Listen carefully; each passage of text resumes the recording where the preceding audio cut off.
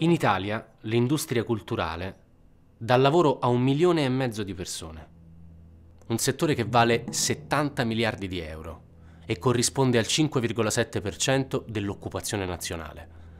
Quindi non siamo in pochi. Di questo milione e mezzo, noi siamo gli artisti, interpreti, esecutori, ovvero più di 70.000 persone. Attori, cantanti, ballerini, direttori d'orchestra. Doppiatori. La legge obbliga gli utilizzatori delle nostre opere, ovvero le televisioni che mandano in onda i nostri film, a versare una quota del ricavato agli artisti che hanno lavorato in questi film. Nel 1977, allora, per iniziativa dei sindacati, nasce l'IMAIE, Istituto Mutualistico Artisti, Interpreti ed Esecutori. Tutti conoscono la SIAE che tutela i diritti degli autori, mentre l'IMAIE protegge i diritti degli artisti che lavorano con la propria immagine. Con la propria faccia. Oltre a tutelare i diritti degli artisti, ha il compito di erogare fondi a sostegno di iniziative e progetti culturali. E questo è il punto in cui ad alcuni viene da ridere e a tanti viene da piangere.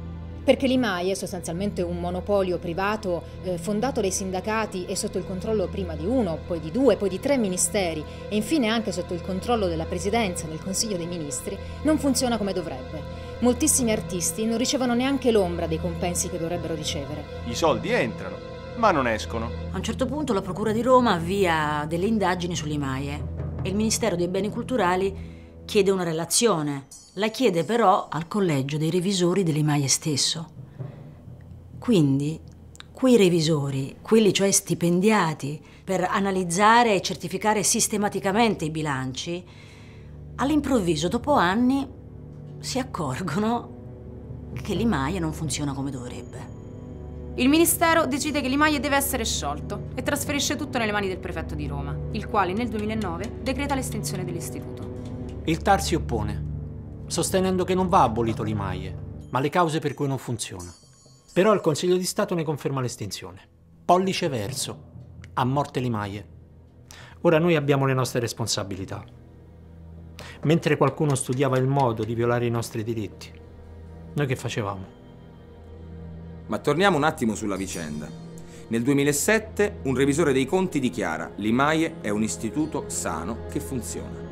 Nel 2008 lo stesso revisore scrive una relazione per il Ministero dei Beni Culturali diametralmente opposta e il Ministero la gira al prefetto di Roma. Il prefetto chiede alla Guardia di Finanza di accertare le cose al fine di prendere in considerazione una procedura di estinzione dell'IMAIE.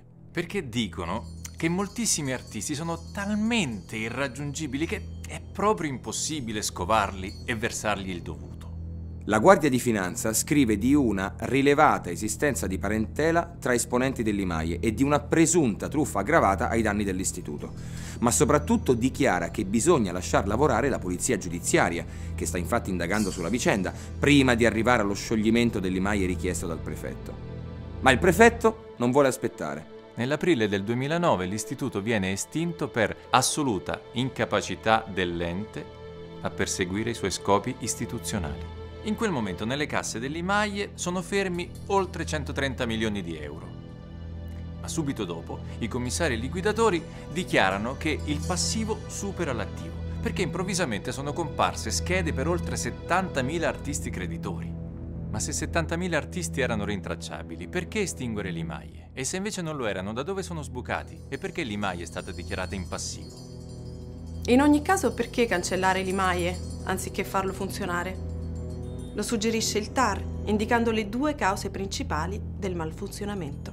Una compagine gestionale inidonea e una legge inadeguata.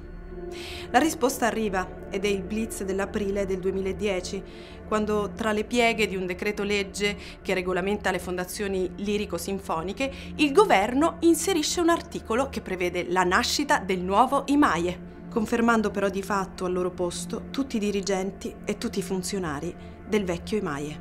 E il decreto parte tempestivamente come un siluro, proprio il giorno prima che nel merito il TAR possa esprimere per la terza volta il suo parere, dopo essersi opposto altre due volte all'estinzione dell'istituto. Un decreto che viola i principi difesi dalla nostra Costituzione, perché vuole imporre il nuovo o vecchio IMAIE come unico esclusivo organismo designato a rappresentare i diritti degli artisti italiani, che lo vogliano o no. Non vogliamo far parte della rigenerazione dell'Imaie, perché c'è bastato l'originale. È come se davanti a uno chef che avvelena tutti, lo Stato decidesse aboliamo la ristorazione in Italia e poi promuoviamo questo chef come unico chef italiano. Ma un ente al servizio degli artisti è efficace soltanto se opera in regime di monopolio? Cioè se è l'unico ente riconosciuto in tutta Italia? In teoria no. In pratica, visti i risultati del passato, ancora meno. Noi produciamo cultura, almeno ci proviamo, e reddito. E stiamo parlando di centinaia di milioni di euro. Pensate quante cose si potrebbero fare in Italia con somme del genere se gestite con onestà, responsabilità e passione. Finora ci hanno impedito di guardare i conti delle maglie, che non dovrebbero essere segreti come la formula della Coca-Cola.